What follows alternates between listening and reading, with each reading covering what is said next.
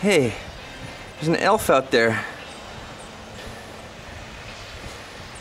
An elf taking a dump. Hey, honey, be quiet. Lapsy.